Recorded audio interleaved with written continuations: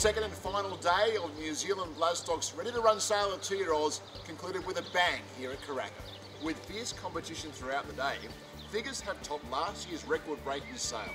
With 31 fewer horses catalogued compared with last year, the sale is concluded with a new record turnover of $19,297,500 for 241 horses sold.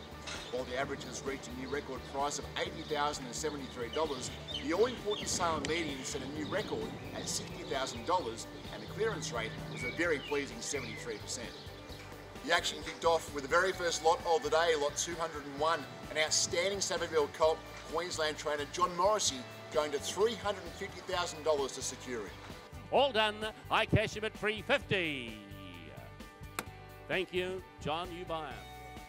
Savabeel was to the fore again a couple of hours later, providing the top price of the day when a of his, lot 264, was knocked down to Bryce Hayes at Ellerslie Lodge for $460,000. I set him bidding for 460,000.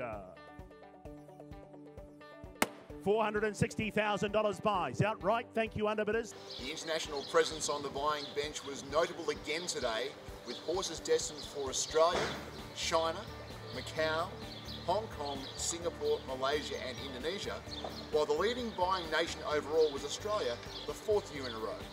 The leading buyer for the sale was Singapore-based trainer Michael Clements, who purchased 10 horses for $1.4 million. Back at the ready-to-run sale for the second year was the China Inner Mongolia Rider Horse Group, with 20 lots purchased for $503,500. Regaining their crown as leading vendor was Lyndhurst Farm, who sold 18 lots for $2.6 million, with lot 344 being their top price of $330,000.